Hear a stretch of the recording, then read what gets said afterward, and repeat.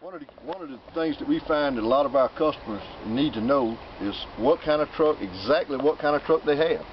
Uh, they know they have a white truck. They may know they have a box truck, but we need to know as as uh, suppliers exactly what kind of truck you have. A lot of trucks are white. There are all kind of different white trucks, but we need to know exactly what you have. And today I'm going to show you exactly how to how to tell that.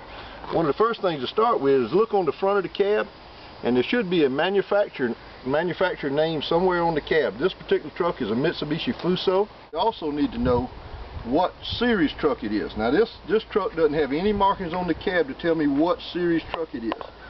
And we're going to go inside and show you where the VIN number is on a Mitsubishi Fuso.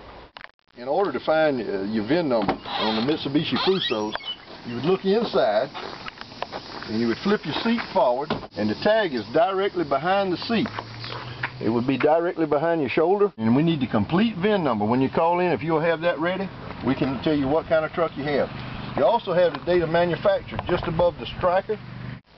And this particular truck is made in 3 of 98.